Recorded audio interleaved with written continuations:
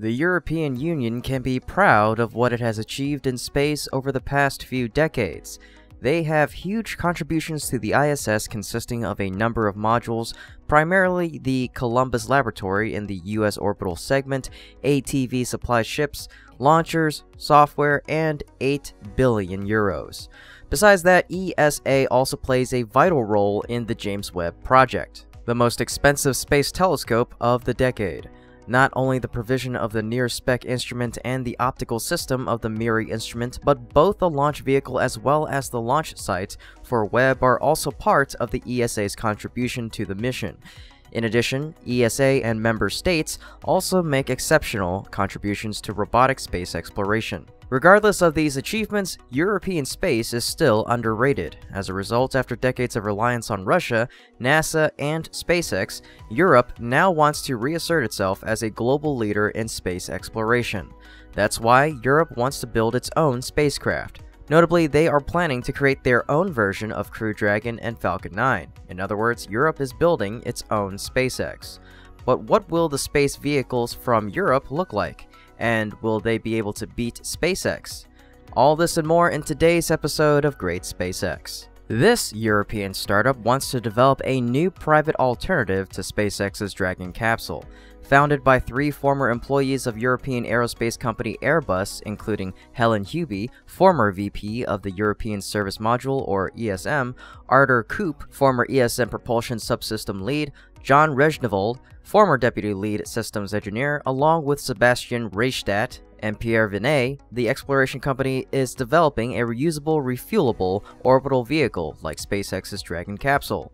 But why the Dragon specifically? Well, first off, Dragon is designed as a class of partially reusable spacecraft, similar to the development direction of the exploration company. Another reason is that this medium has created countless respectable achievements. Its primary role is to transport crews to and from the ISS under NASA's Commercial Crew Program, succeeding in crew transportation and orbital capabilities of the Space Shuttle, which retired from service in 2011.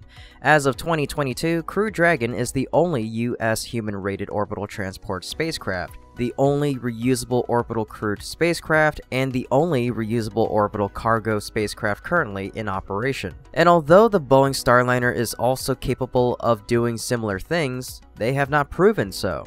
Therefore, SpaceX's Dragon is still the best choice. According to Huby, there is no close European competitor, and therein lies the opportunity for a European startup to keep up on the international stage. The exploration company has raised around 11.5 million euros, which amounts to 11.6 million dollars, including a 5.3 million euro seed round led by Promus Ventures, with participation from V Squared and Cherry Ventures.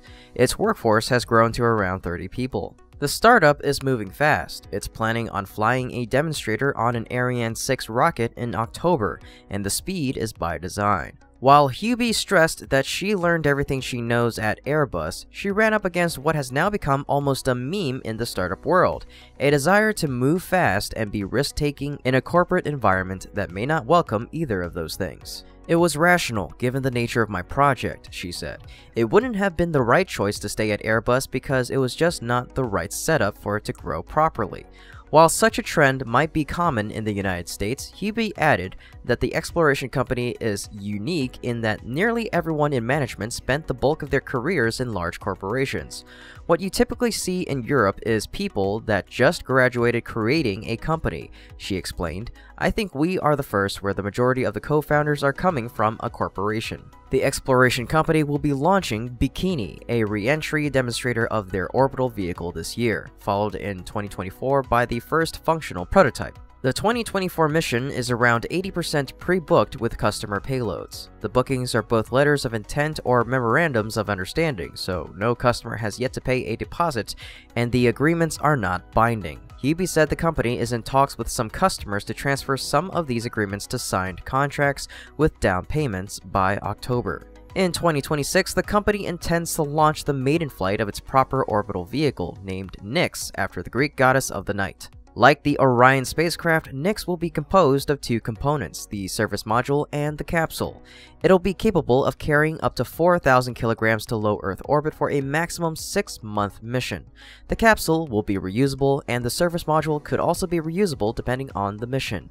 The idea, Huby said, is to eventually be able to refuel the surface module using propellant made in space, with space resources, or often referred to as in-space resource utilization. The exploration company is casting its net widely, so Nyx is designed to be launcher agnostic. This October, the Bikini demonstrator will fly aboard an Ariane 6 rocket out of French Guiana, while the first full-scale prototype will fly with SpaceX. Huby pointed to Gateway, NASA's plan to build an orbiting station around the moon, as one possible use case. Nyx could provide last-mile delivery to the lunar surface, refuel on the moon, and go back to Gateway. She also referred to the myriad private space station plans that have cropped up, from Orbital Reef to Stargate, that will require spacecraft capable of transporting goods and people to and from the Earth.